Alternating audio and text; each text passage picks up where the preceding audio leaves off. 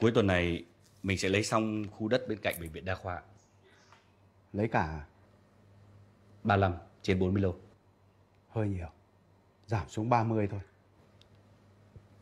Nhưng đấy là khu đất vàng. Bỏ đi phí anh ạ. Anh Tân này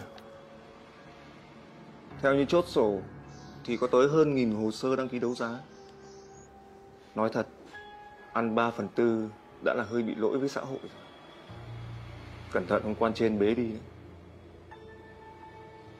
Chú hơi bị coi thường anh đấy. Anh đã bỏ rất nhiều công sức để xử lý vụ này cho nó đẹp đẽ.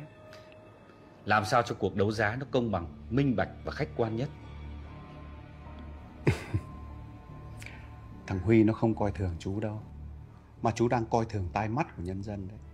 Và cả những cái thằng anh hùng bàn phím thối mồm nữa. Đã là vải thưa che mắt thánh ấy, thì phải tém tém thôi.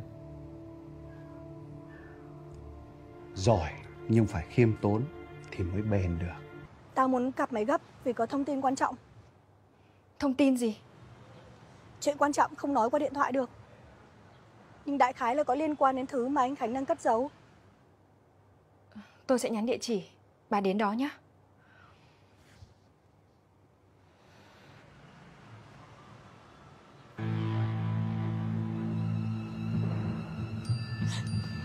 Mẹ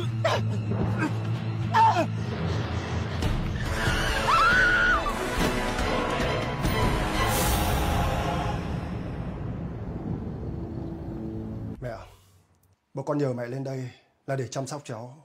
Vì đợt này cả hai vợ chồng con đều rất bận. Nhưng nếu mẹ cảm thấy không thoải mái thì thôi, con sẽ tính cách khác ạ. Em không thể về nhà.